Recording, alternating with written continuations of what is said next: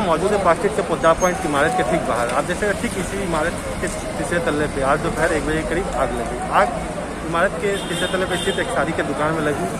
स्थानीय लोगों के अनुसार दोपहर एक बजे के करीब जब सिक्योरिटी गार्ड ने दुकान के खिड़की से धुआँ निकलते देखा तो उन्होंने घटना की सूचना तुरंत इमारत के केयर टेकर और पुलिस को दी। इसके बाद पुलिस और दमकल कर्मी तुरंत मौके पर पहुँचे और आग बुझाने के काम में लग गए। इमारत की ऊंचाई को देखते हुए दमकल कर्मियों ने तुरंत यहाँ पर हाइड्रोलिक लाइटर मंगाया और आग बुझाने के काम में लग गए।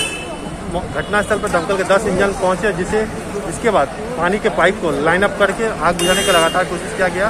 पौष इलाके में आग लगी की घटना को देखते हुए राज्य के दमकल मंत्री सुजीत बोस भी यहाँ पहुँचे और लगातार जब तक आग नियंत्रित नहीं हुआ, तब तक वो यहाँ पर मौजूद रहे। दमकल मंत्री की माने तो दुकान बंद पड़ी थी और आग संभवतः इलेक्ट्रिकल शॉर्ट सर्किट के कारण लगने की संभावना जताई जा रही है। फ़िलहाल आग पूरी तरह से नियंत्रित है और आसपास के लोगों में भी भीड़ देखी जा रही है। कैमरा पर्सन अर्पिता के साथ मैं दीपक शर्मा